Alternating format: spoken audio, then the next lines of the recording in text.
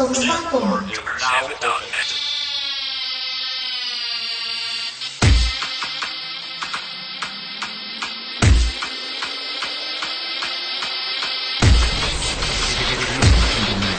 Please welcome DJ PR, London